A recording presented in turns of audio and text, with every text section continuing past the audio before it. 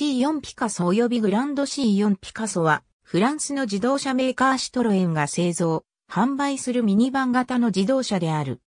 なお、ピカソの名称は、社名エンブレムのデザインとともに、ピカソ財団との契約の上採用していたが、2018年に契約を更新せず、社名を C4 スペースツアラーとグランド C4 スペースツアラーに改名した。それまでの草ラピカソの後継として、2006年のモンディアルドロトモビルでグランド C4 ピカソを発表。C4 ピカソは2007年1月に登場した。草ラピカソやベルランゴと共に B5 にある PSA グループのスペイン工場で生産されている。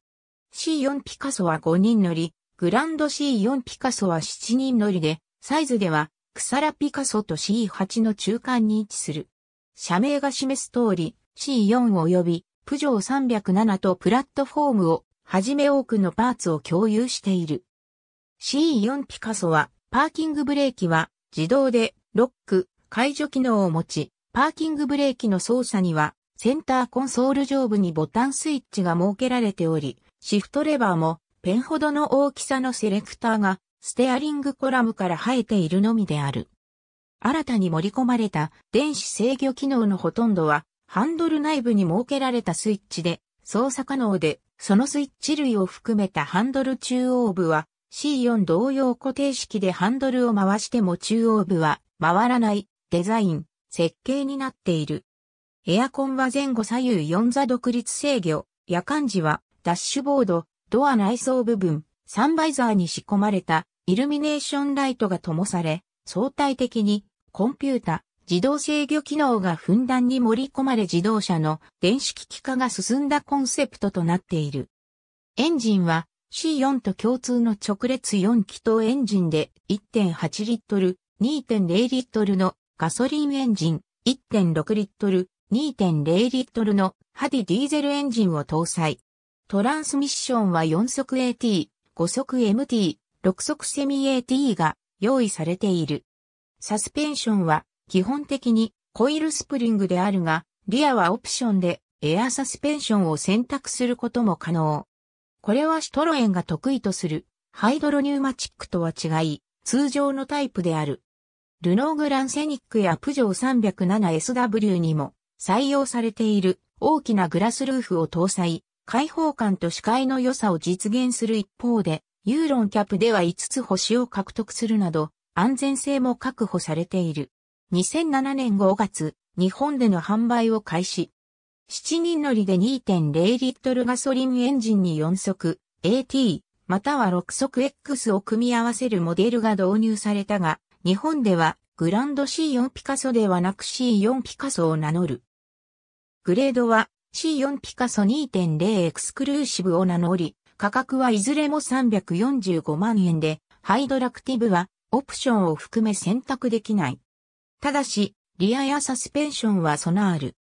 2007年9月11日、ブルーの C4 ピカソがスペイン工場で90万台目に生産された自動車となる。また、グランド C4 ピカソと C4 ピカソの累計生産台数は13万台を超えた。2008年1月、値上げされ362万円となるも、その穴を埋め合わせるべく廉価版 C4 ピカソ2.0を追加した。このグレードは従来のエクスクルーシブからバイキセノンライトやヘッドランプウォッシャー、トキンモール、ガラスハッチ、リアエアサスペンション、アルミホイールなどを省いた内容となっており、価格は335万円と27万円安となっている。2009年2月、それまでの2.0リットルから新開発の1.6リットルツインスクロールターボに換装された。2010年4月、一部改良。これまで設定されていたバイキセノンヘッドライトからハロゲンランプに変更されたほか、アルミホイールの形状が変更された。旧価格は377万だったが349万円と低価格が実現された。2011年2月10日、マイナーチェンジ。エンジンはそのままで、これまで設定されていたハロゲンランプからバイキセノンヘッドライトが再設定された。インテリア表記が変更され、レザーシートはメーカーオプション設定される。価格は据え置きされた。2012年6月27日、特別仕様車、リミテッドスタイルを150台限定で発売。ミストラルと呼ばれる、ブラックインテリアや17インチアロイホイールなどを装備。2012年12月に本での販売を終了。公式サイト上からも消えた。2013年3月のジュネーブモーターショーで初公開されたコンセプトカー、テクノスペースの市販バージョンとして翌4月に発表された。PSA プジョーシトロエンが新開発したモジュラープラットフォーム EMP2 を2代目プジョー308に次いで採用。アルミや高張力、スチール、コンポジット素材の採用や先代で設定されていたエアサスペンションの廃止などにより仙台比で最大 140kg の軽量化が図られている。仙台同様、C4 ピカソとグランド C4 ピカソの見た目の違いは、ホイールベースや乗車定員のみならず、ボディシェル後半の造形や、フロントマスクの一部など多岐にわたるが、後日のパワーユニットについては、基本的に共用する。インテリアについては、多彩なシートアレンジが可能となっており、付属の可動式パネルを使用し、2、3列目のシートを折りたたむことによって完全にフラットなスペースを生み出すことが可能である。メーター部分にあたる12インチパノラミックスクリーンは前面に有機 L ディスプレイを採用することで見やすさと機能性の両立を図っている。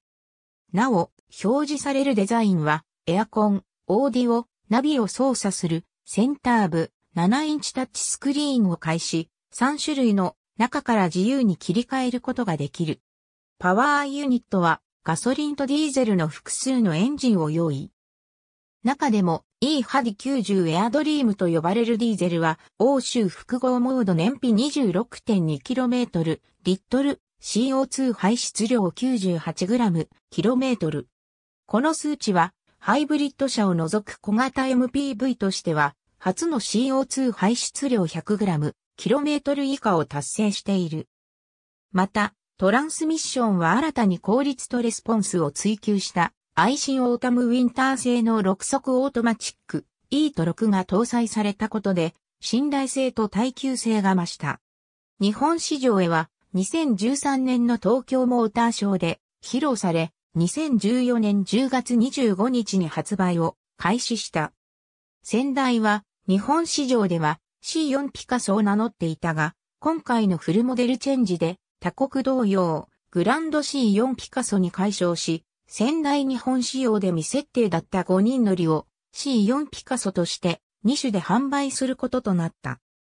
パワーユニットはガソリンエンジンのみで、共に1.6リットル、直噴ツインスクロールターボ E と6となる。2016年5月本国にて、フェーズ2が登場。2018年5月本国にて社名を C4、スペースツアラーとグランド C4 スペースツアラーに改名。日本市場では同年9月25日から新社名で販売開始。ピカソが故障がなくなったのは、ピカソ財団との名称使用料の更新の際、金額が折り合わなかったことが原因とされる。2019年5人乗りの C4 スペースツアラーを廃止。実質的な後継者は C5 エアクロス SUV となった。シトロエンのプレスリリースシトロエンジャポンのプレスリリースシトロエンのプレスリリースこの名称は公式サイト上においてキャッチフレーズとして使われている。Http コロンスラッシュスラッシュレスポンス .jp スラッシュアーティクルスラッシュ2013スラッシュ04スラッシュ03スラッシュ 195146.html ありがとうございます。